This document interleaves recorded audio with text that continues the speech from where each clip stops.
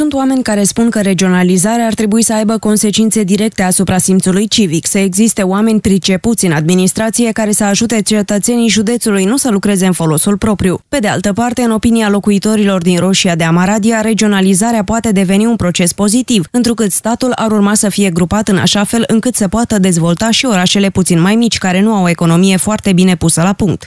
Părerea mea despre regionalizare este următoarea. Este binevenită, dar trebuie gândită cum și cum trebuie desfășurate activitățile. Problema următoare este că se îngreunează situația. Adică dacă ai nevoie despre un act, să mergi să parcurgi atâția kilometri, este foarte greu. Sunt și oameni care nu văd nimic bun în regionalizare. De, de regionalizare ați auzit acum? Da.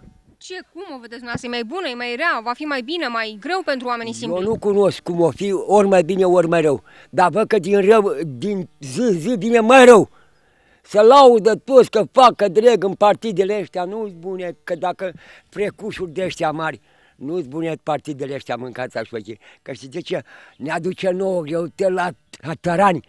La țărani a clauzat acum, acum să, să, să trebuie să muncești pământul de frică și n-are cine mai munci, că eu bătrân. Tineretul a plecat la oraș. Și cum omul de la țară este simplu și sincer, ne-a spus și părerea lui despre politicienii pe care îi vede seara la televizor. Politicienii aceștia de la, pe care îi vedeți la televizor, de la centru, cum, cum ce părere aveți? Victor Ponta, Crin Antonescu?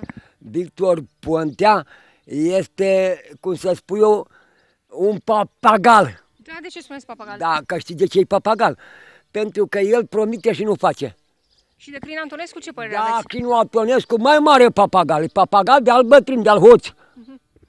Ăla nu trebuie ales primar... Uh, prim, uh, păi nu va candida la președinția țării. Nu, nu e bun candidat la președinție, că știi de ce?